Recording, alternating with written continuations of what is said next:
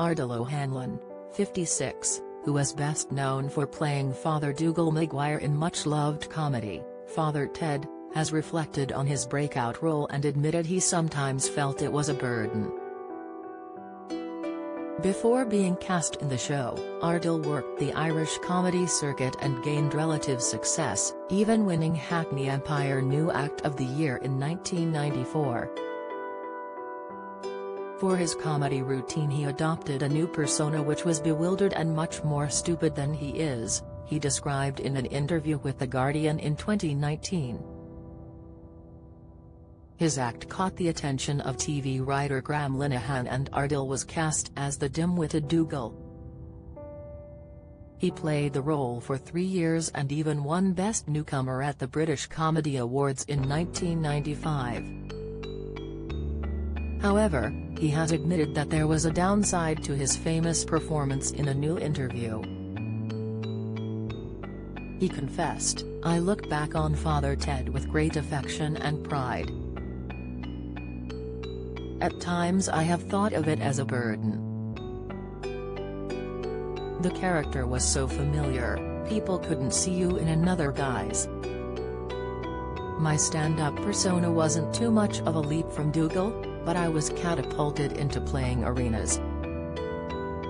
I was promoted prematurely, he told Radio Times.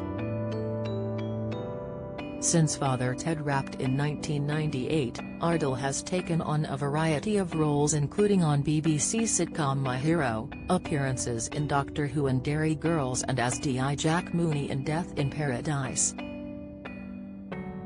The actor previously explained that he made a conscious decision to distance himself from Dougal to avoid being typecast.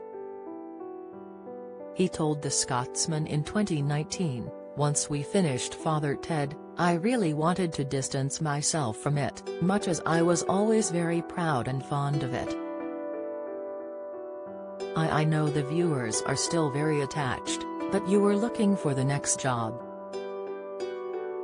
You can't rest on your laurels, you have to move on. It comes as Ardal will be taking part in the new series of Channel 4's Taskmaster. He will join Loose Women's Judi Love, Chris Ramsey, and comedians Bridget Christie and Sophie Duker in the hit comedy game show which is presented by Greg Davies and Alex Horne. The synopsis for season 13 teases, survival for this courageous quintet will depend on their abilities to paint perfectly with their lips, effectively wrangle a cement mixer and chase Alex around a tree while Hess pedaling a tricycle.